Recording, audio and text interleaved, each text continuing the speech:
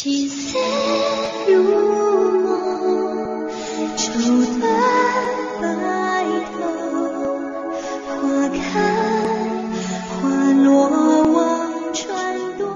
欢迎您收听由畅想听吧原创录制，关心则乱创作，小梦和小编 C 共同为您演播的穿越小说《知否知否》，应是绿肥红瘦。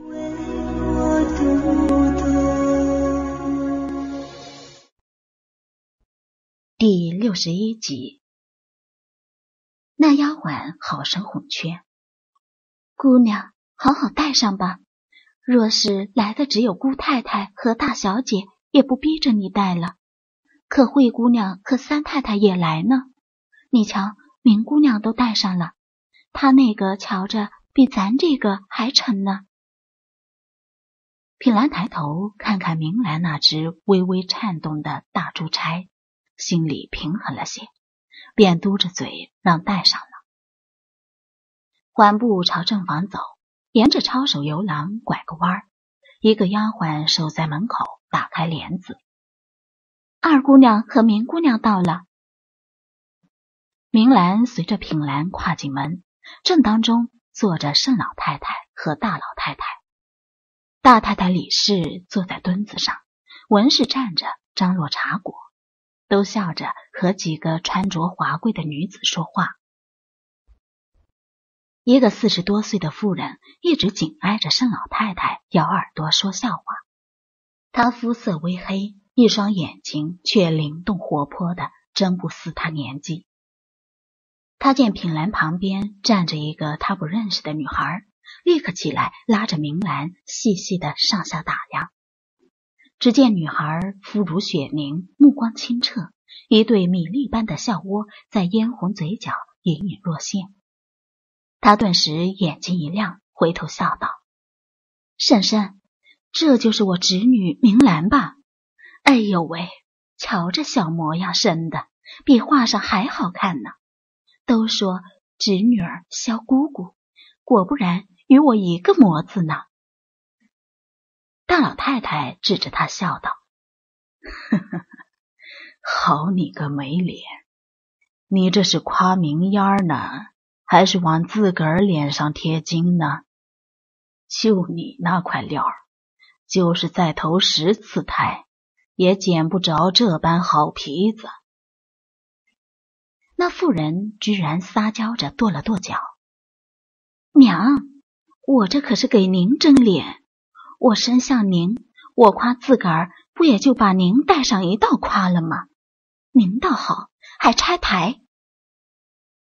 大老太太无奈的摇摇头，盛老太太也被逗乐了，点点头道：“云丫头果然孝顺。”屋内众人一起大笑，丫鬟媳妇也捂着嘴暗笑。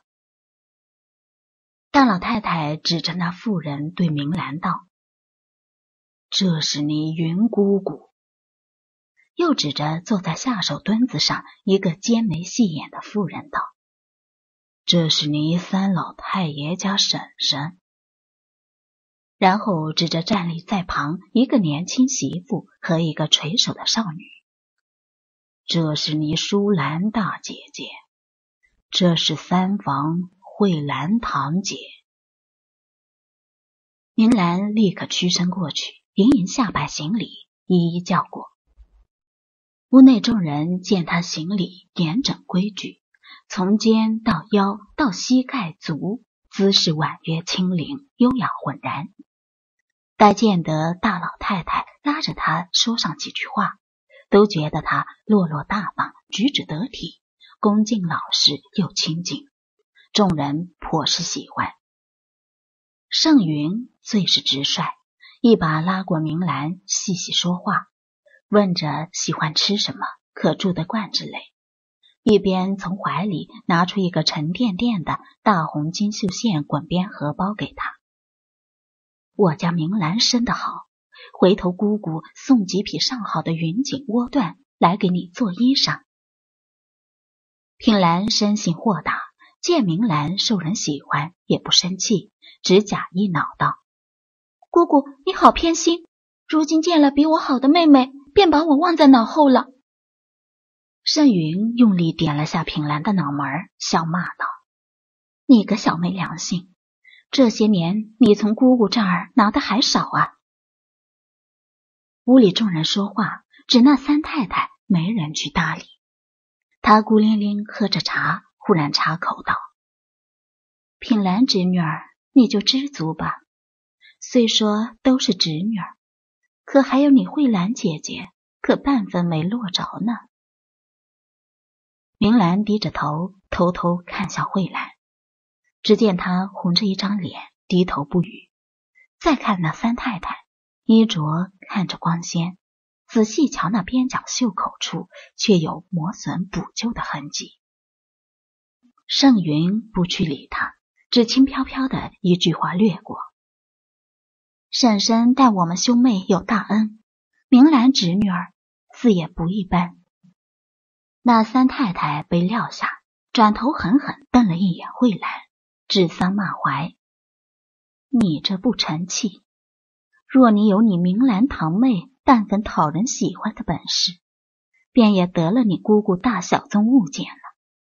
如今白叫了十几年姑姑，半分银子也没捞着。”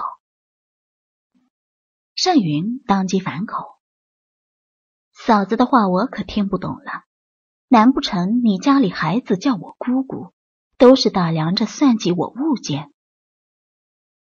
三太太竖着眉毛，尖声道：“哟，可不敢。只是如今外头人都说，盛家大房二房都金山银山堆填了海，妾只看着自己兄弟叔伯落魄要讨饭了，也不管上一管。”凭日日施粥放米给不相干，也不过是虚图了个大善人的好名声。原来也是做样子。品兰一听有人侮辱自家的父亲，立刻大声道：“我爹爹前日里刚给三婶婶家送去几大车柴米，至于银两，那是月月不断，这也是做样子。”大太太李氏沉声道：“聘兰，休得无礼。”还不快退下！屋内一时刀光剑影，明兰暗暗咂舌，只低着头，不敢让人看见自己脸上的惊异。往日里，她们姐妹三个吵嘴，或者王氏和林姨娘明枪暗箭都是有，可也从无这般撕破脸的行径。再偷眼去看旁人，只见包括盛老太太在内，所有人都面色如常。大老太太哼了一声：“周儿媳妇，你今日是来拜见你二婶子，还是来寻衅？在长辈面前如此大呼小叫，也不怕小辈看了笑话？”三太太涨红了脸，一言不发的坐下，猛喝茶吃点心。明兰转头。只见品兰一脸得意，挑衅看着慧兰，倒是舒兰颇有不忍，把慧兰拉走去说话，解了屋里的窘迫。这时，一个丫鬟进来禀道：“李家舅太太来了。”大太太忙道：“快请。”丫鬟打开帘子，只见一个满头珠翠、肌肤丰腴的妇人进来，见了大老太太和盛老太太。忙恭敬行礼，笑道：“我来叨扰了，老太太莫怪。只是常听着我小姑子念叨，婶娘何其慈爱，今日便厚着脸皮来拜见了。”盛老太太笑道：“舅太太也太过谦了，都是自家人，说什么两家话。”年纪大了，就喜欢热闹。你们能来，我高兴的很。明兰，来见过舅太太。明兰上前来，躬身行礼，迟疑着，不知叫什么好。那舅太太忙开口：“你便如品兰一般，叫我舅妈吧。”明兰抬眼看了看盛老太太。见她微微颔首，便乖巧叫了声：“舅母好。”舅太太朱氏眼眯成一线，笑道：“好标致的闺女儿，老太太好福气呀。”说着，也从身边丫鬟手里接过一个汗淡色荷包，塞到明兰手里。明兰低头一瞧，只见这荷包珠绣辉煌，镶针定宝，极其华丽耀眼。不看里头东西，光是这荷包就价值不菲了。大家坐下叙话，舅太太朱氏依旧没有理睬三太太，只和盛老太太他们说话。从金陵说到京城，从内眷说到子女，明兰从不小看这种内宅妇人间闲话恭维，只细细听了，才知道早年间李老太公和盛老太公一起发家，一开始并不如盛家兴旺。不过，人家儿子养得好，没有引进外来基因，而是凑合了乡下结发妻子。三代勤恳经营下来，家业繁盛，成了酉阳县城里数一数二人家。三太太几次欲插嘴，都不得成功。大老太太说了会儿话，忽然对盛云道：“太深了，今日他没随你来吗？”盛云笑道：“五哥儿难得从京城回来，我那傻小子总也说个没完。哎，舅太太，你今日一人来吗？”朱氏笑道：“来了，玉哥儿和都哥儿都在外头呢。”大老太太笑道：“都是自家亲戚，快叫进来。”说着便叫丫鬟传人，然后帘子掀开。进来三个年岁相当的男孩，齐齐给盛老太太下拜行礼。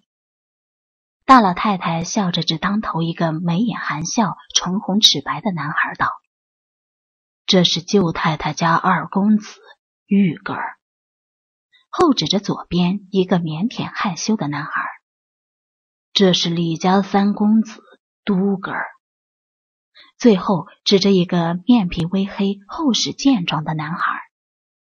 这是我云丫头小子泰生。三个男孩各有风采，一时间屋内一片勃勃之气。除了明兰，其余众人皆早逝。于是明兰只得过来逐一施礼称呼，随着品兰一概都叫表哥。朱氏笑着对明兰道：“你还有个大表哥，这会儿出外办事去了。”你大表嫂人是极好，以后可要来我家玩儿。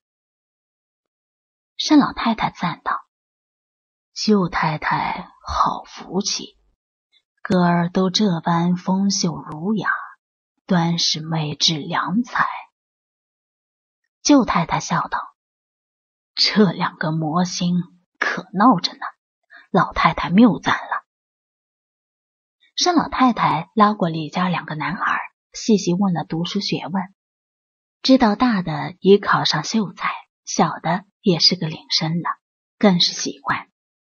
好，好，好，上进用功方是道理。朱氏笑道：“他们这可算不得什么。听闻老太太家长孙不知秀才、举人、进士，都是一次考中。”如今被点了数级士，在翰林院供职，这才是真正文曲星下凡命格哟。盛老太太转头瞪了大老太太一眼，定是老嫂子到处说去，没得夸坏了孩子。大老太太笑道：“有好，自然要夸。回头等这俩孩子上京赴考了。”你且照应着点儿就是了。单老太太道：“这还用说？为哥儿媳妇侄子，便如我自家孩子般。舅太太待哥儿们上京了，就住到我那儿去。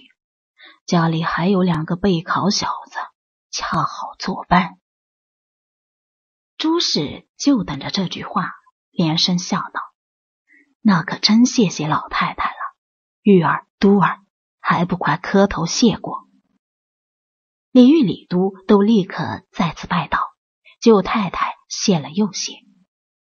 品兰抚到明兰耳边，轻声问：“不过是住到自己亲戚家里头，做什么这般道谢呀？”明兰苦笑，这小姑娘还真敢说，只答道：“我家书多。”把酒唱一别。